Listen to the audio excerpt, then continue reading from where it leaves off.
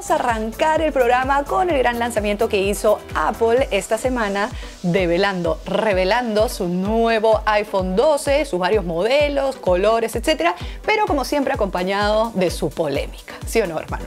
Bueno, sí, ya hace tiempo lo había anunciado, de verdad que no entiendo mucho la controversia porque ya se sabía, pero eh, Apple ha decidido sacar de el, paquete del iPhone los audífonos y el cargador. Así que bueno, ellos dicen que es por razones ecológicas y tiene todo un sustento por ello, pero la gente ha incendiado las redes. ¿Será solamente la ecología o hay algo más? La primera de Tech. Hace unos días fue presentado al mundo los nuevos iPhone 12, que llegan con novedades técnicas y características bastante atractivas. Sin embargo, Apple ha tomado una decisión bastante polémica que ha abierto un caluroso debate en redes sociales. Y es que los iPhone 12 llegarán sin cargador ni audífonos dentro de la caja de compra. Y por si fuera poco, esta medida también se aplicará a todos los otros iPhones vigentes a la fecha incluyendo los modelos 11, SE y XR. Es por eso que vamos a explicarte cuáles son los argumentos de Apple y por qué esto podría cambiar la industria tecnológica para siempre. Desde hace un par de años, uno de los objetivos empresariales de Apple es reducir la contaminación emitida por sus productos en favor del medio ambiente.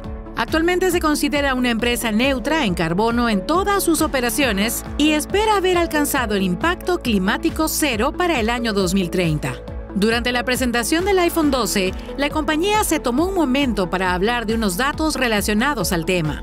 Así dijeron que en la actualidad existen más de 700 millones de AirPods, así como más de 2 millones de cargadores de productos Apple en el mundo, sin contar con los adaptadores hechos por otras empresas. En resumen, el mensaje fue que el consumidor ya tiene algún tipo de audífono o cargador para su dispositivo móvil actual, por lo que podría prescindir de uno adicional.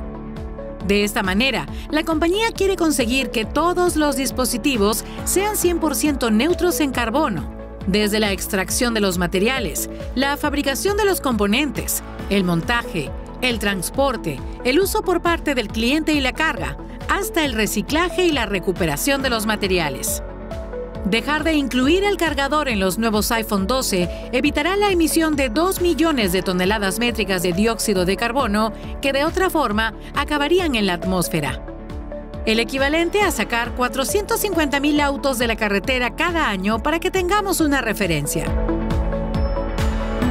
Al hacer la caja más pequeña, se podrían enviar hasta un 70% más de iPhones en una sola unidad de carga, optimizando el trabajo de transporte internacional. Si bien para muchos las intenciones de Apple pueden ser cuestionables y hasta en contra del consumidor, los desechos electrónicos no lo son, siendo un problema real que sin embargo está pasando bastante desapercibido en el mundo. Mientras que tu celular, tu computadora o tu televisor no son ningún riesgo en tu hogar o en tu uso personal, cuando estos son desechados, son susceptibles de causar diversos daños para la salud y la ecología. El Programa para el Medio Ambiente de las Naciones Unidas calcula que en todo el mundo cerca de unos 50 millones de toneladas de aparatos electrónicos son desechados anualmente. ¿Preocupación real por el medio ambiente o una medida para reducir costos? Se podrá estar a favor o en contra de la decisión de Apple, pero lo cierto es que la compañía ha decidido afrontar directamente el gran problema que es la basura tecnológica. Y por más descabellado que suene en la actualidad comprar teléfonos sin cargador y audífonos, la historia ha demostrado que cuando un gigante como Apple toma una decisión trascendental como esta, otras compañías suelen seguir su tendencia, para bien o mal de algunos.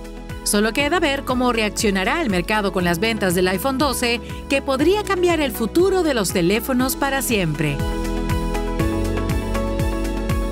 Bueno, la controversia está. Lo más curioso es que he visto en YouTube mucha gente haciendo unboxings y quejándose, incendiando como si fuese una sorpresa, pero Apple ya lo había anunciado hace tres meses, no entiendo la sorpresa. Controversia sí, pero esas decisiones, por ejemplo, cuando sacaron el audífono del teléfono, también incendiaron el mundo y sin embargo todas las marcas hicieron lo mismo. Entonces, de alguna manera son cambios radicales que incentivan otro tipo de desarrollo tecnológico como los bugs, por ejemplo, y los audífonos sumamente altos en calidad, pero inalámbricos, gracias a que ya no teníamos que estar enchufándolos. ¿Tú qué piensas, Steph?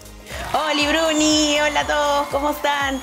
Sí, o sea, en verdad Apple eh, se ha desvivido últimamente por explicar los motivos por los cuales ha hecho esto.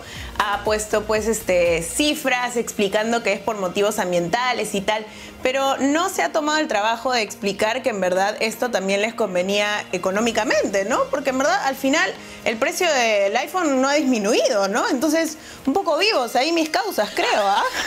Como diría una famosa y célebre chica de la farándula en nuestro país, business on business. Así que bueno, van a tener que ya, de hecho han hecho toda su corrida de negocio. Pero bueno, seguramente mucha gente igual hará el cambio y la transición sin ningún problema. Yo en verdad tengo ahí 500 cargadores y 500 audífonos, así que